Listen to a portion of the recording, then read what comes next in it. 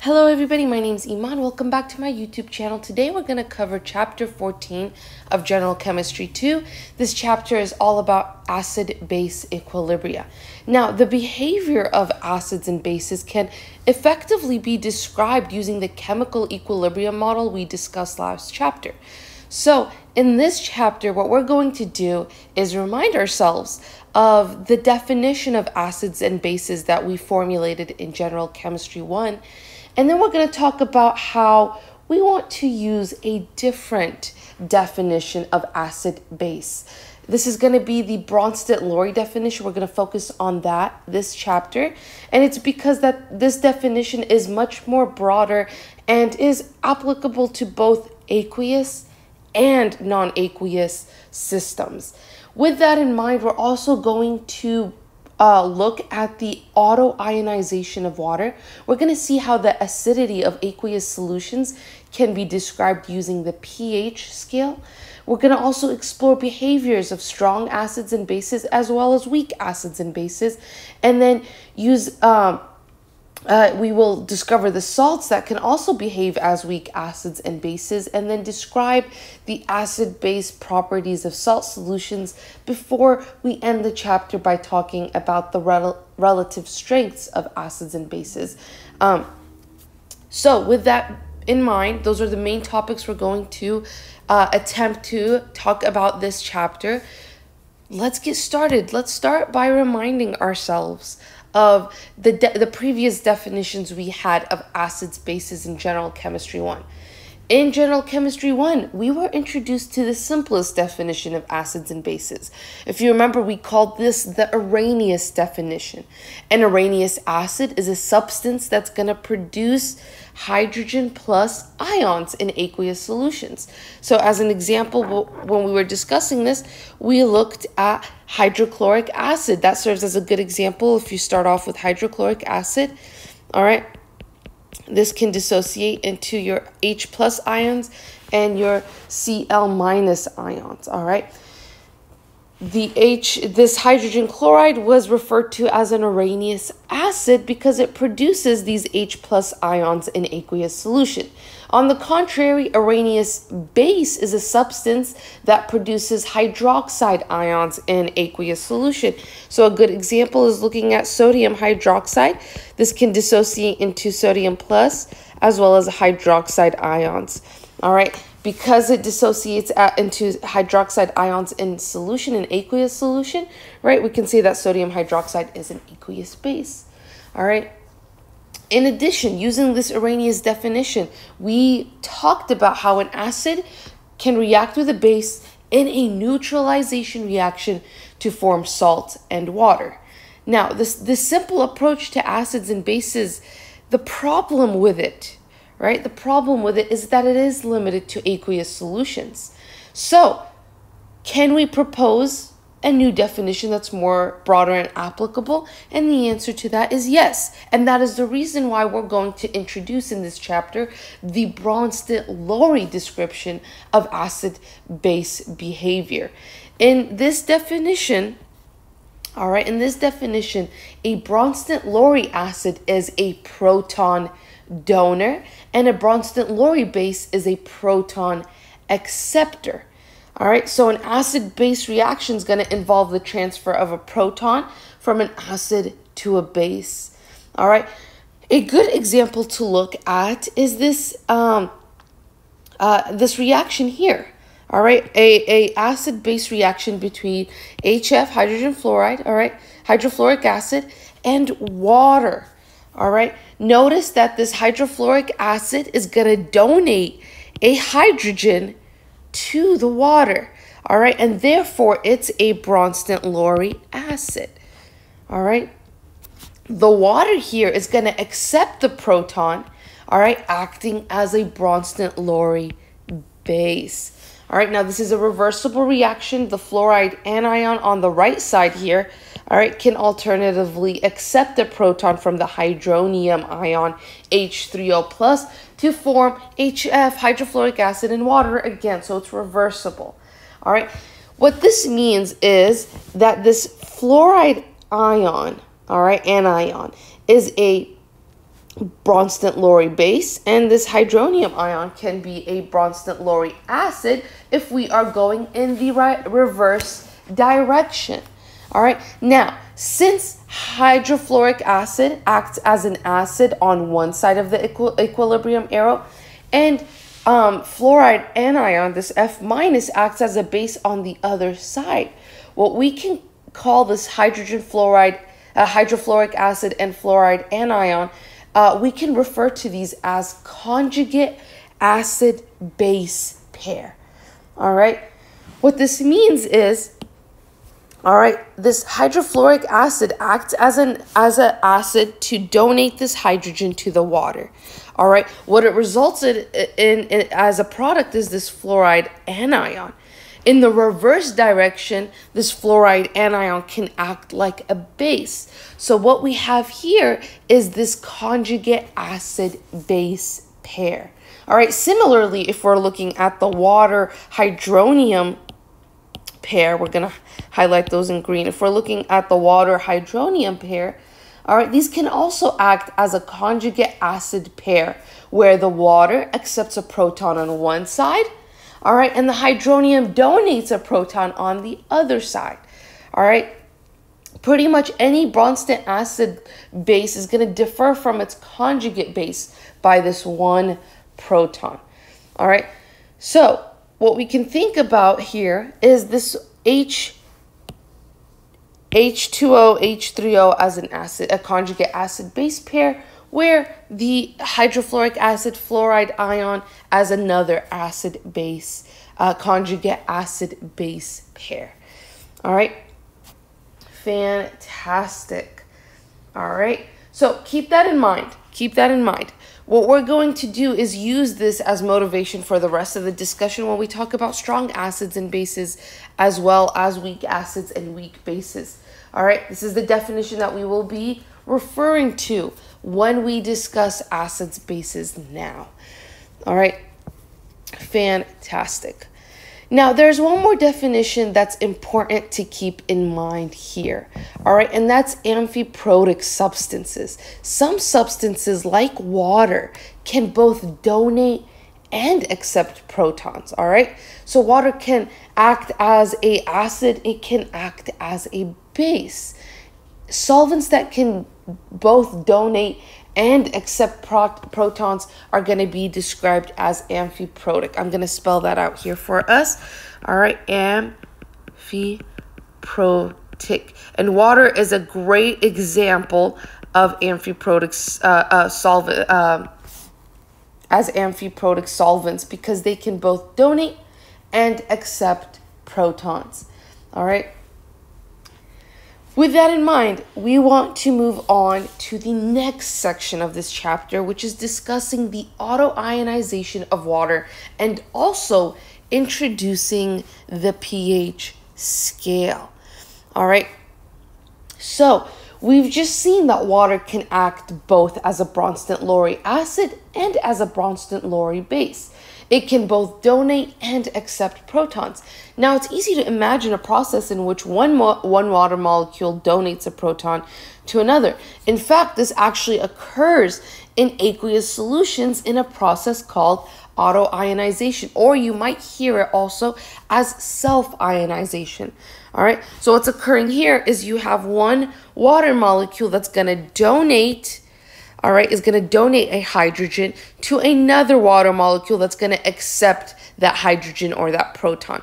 All right, so you have one water that serves as an acid and one water that serves as a base. Now, like the vast majority of proton transfer reactions, this reaction is, is best described as an equilibrium. All right, so what, it, what, what that means is this reaction has its own equilibrium constant. what we're going to call this equilibrium constant is Kw, or the ion product constant for water. All right, so if we are trying to write the equilibrium, um, equilibrium uh, reaction uh, formula for this, all right, if you remember, any equilibrium constant we define as product concentrations over reactant concentrations. All right. So if we're attempting to write this, what we might write are our product concentrations, so our hydronium, all right, H3O plus, as well as our hydroxide OH minus, over, all right, H2O, and we have two of these squared. Now, you might get excited and just stop there, but if you remember, all right, when we're writing our equilibrium constant, we only include aqueous uh, uh, solvents. We ignore any liquids or solids. So actually, when we're writing our equilibrium constant here, all right, we don't write these waters in the denominator because they're in liquid form. What that means is that the equilibrium constant here associated with the autoionization of water, Kw, is only the concentration of the hydronium and the hydroxide. And what this is equal to is 1 times 10 to the minus 14 at 25 degrees Celsius.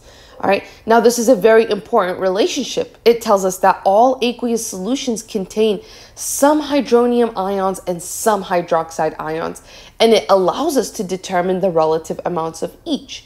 Now, in all aqueous solutions at 25 degrees Celsius, the concentration of hydronium times the concentration of hydroxide is equal to this value right here. This is true for any aqueous solution at 25 degrees Celsius.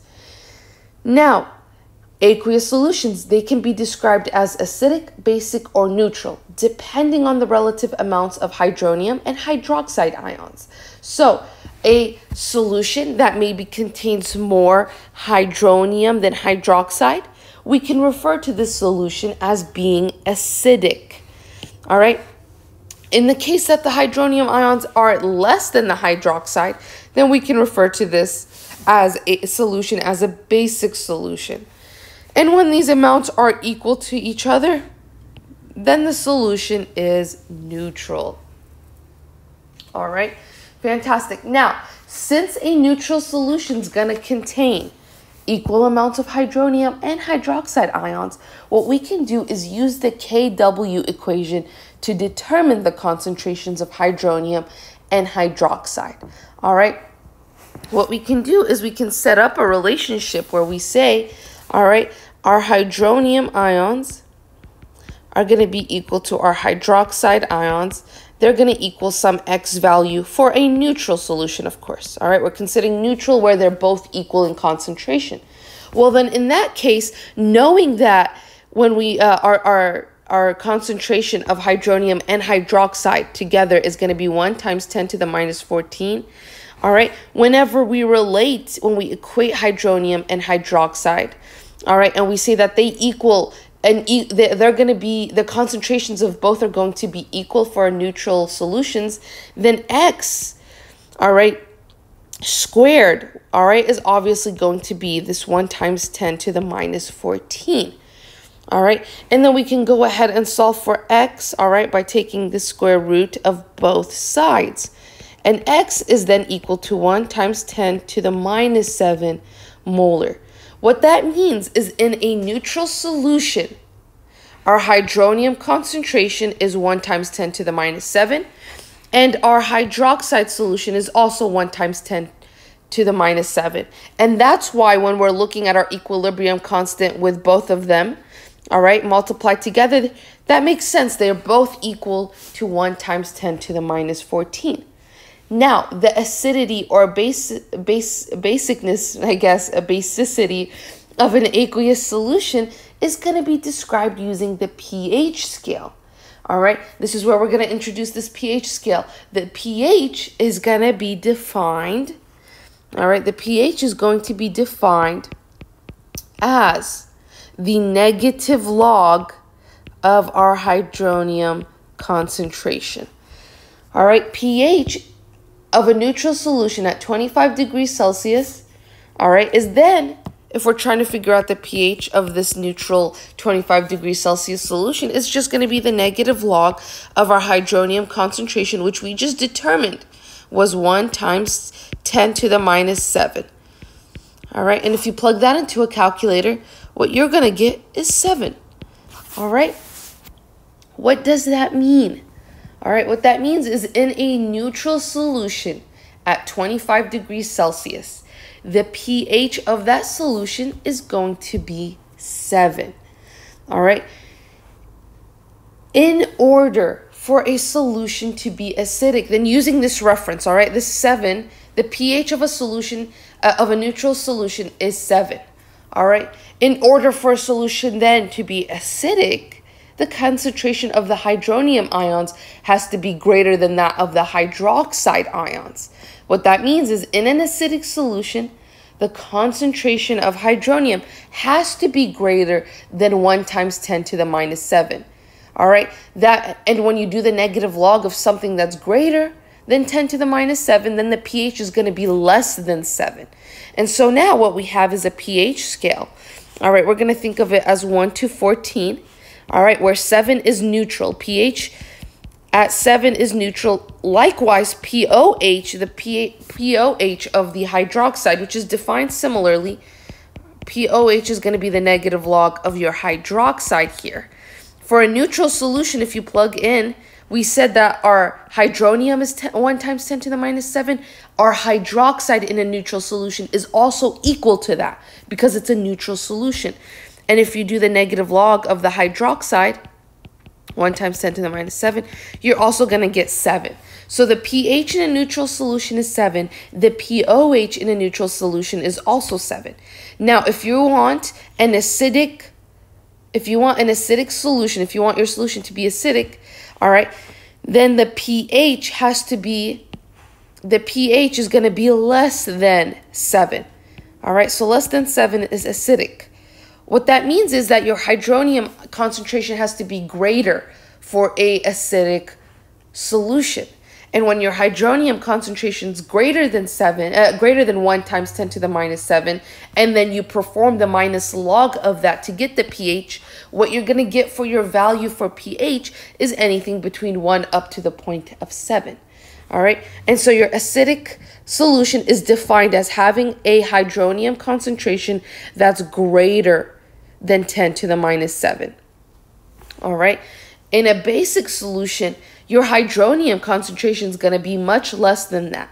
All right, but in a neutral solution, it will be equal to 10 to the minus 7.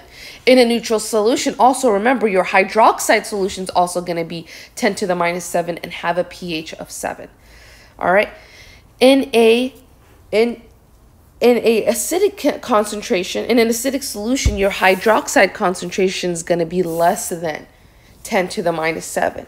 But for a basic concentration, uh, for a basic solution, your hydroxide concentration is going to be greater than 10 to the minus 7. All right, so now you have the scale where 7 is neutral, is a neutral solution. All right, 1 up to that point is acidic. Any pH greater than 7 all right? Any pH greater than 7 is going to be basic. All right, we're defining it in terms of pH. All right, fantastic. All right, so keep this in mind. Let's do an example problem. All right, let's do an example problem. Actually, um, one more thing before we do an example problem. All right, for a solution, you can calculate the pH. All right, for a solution, you can calculate the, the pH of the solution. All right. You can also calculate the pOH of the solution. The pH plus the pOH. What is that going to give you? That's going to give you back your pKw value. All right, that equilibrium uh, constant for the autoionization of water all right, that we define as KW. pH plus POH is going to give you back PKW. All right, the negative log of your KW value. Fantastic. Now what we want to do is actually jump into a practice problem. This problem says the hydronium ion concentration of a particular aqueous solution is 3.7 times 10 to the minus 4 at 25 degrees Celsius determine the pH, the hydroxide solution uh, concentration, and the pOH of, of this solution. All right.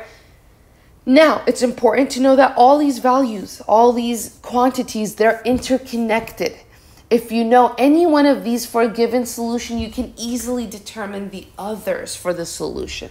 All right. So if we already know, all right, the concentration of the hydronium ions, H3O plus, then we can easily determine the pH directly, right? And in this problem, we're given the hydronium concentration. It's 3.7 times 10 to the minus 4. So what we can do right away easily is calculate the pH. Why? Because the pH is just the negative value, negative log value of your hydronium concentration. So let's go ahead and plug in those values. pH is going to equal the negative log of 3 time, uh, 3.7, sorry, 3.7 times 10 to the minus 4. All right, and if we plug that into a calculator, what we're going to get is 3.43. The pH is 3.43. All right, now when you take the log, it um, you will have the same number of, decimal places as the number of significant figures in the original value. So in this case, the concentration has two significant figures. All right. We're going to uh, make sure that there's also two significant figures in the pH. Now, once you know the pH, you can determine the POH. All right. How can you do this? Well, pH all right, pH plus POH is going to equal your pKw. What is your pKw? That's just equal to 14. All right, so now using this equality, all right, I, I never defined it here, that's my bad. All right, pH plus POH is going to equal to your pKw, your negative log of your KW value. This is going to equal 14, by the way. All right, because if you remember in our definition of Kw, it's going to be your concentration of hydronium times your concentration of hydroxide. That's going to equal 1 times 10 to the minus 14. If you take the negative log of that, all right, what you're going to get is your pKw. And that is going to equal to 14. So we're going to use this relationship, all right, now that we know what the pH is and we know what pKw is to figure out pOH. POH is simply 14 minus your pH. So what that means is 14 minus 3.43, that's going to equal 10.57. All right. The KW equation tells us the product of our hydronium and hydroxide. It's 1 times 10 to the minus 14. All right. PKW is 14, and we just use this relationship to figure out the POH. So now we have the pH, we have the POH. What we're going to do as a last part of this problem that it's asking is we need to figure out the OH, the hydroxide uh, concentration. All right, well, we're going to go back to the basics. We know our KW is going to be our hydronium times our hydroxide concentrations. This is all going to equal 1 times 10 to the minus 14, right? Well, what we know now, all right, what we know is our KW and we know our hydronium concentration. So we're going to use that to figure out our hydroxide concentration. Our hydroxide concentration is then going to be 1 times 10 to the minus 14. We've divided, divided both sides by the hydronium concentration. All right. And now what we can do is just calculate this because we know what our hydronium concentration is. It's 3.7 times 10 to the minus 4. Plug this into the calculator and what we get is 2.7 times 10 to the minus 11. This is our hydroxide concentration. So now we figured the pH, the POH, and the hydroxide concentration for this problem. All right that's all I have for you for now for this chapter. In the next part, we're going to talk about strong acids and bases as well as weak acids and bases. I hope this was helpful. Stay tuned for the next part and let me know if you have any questions down below. Other than that, good luck, happy studying, and have a beautiful day.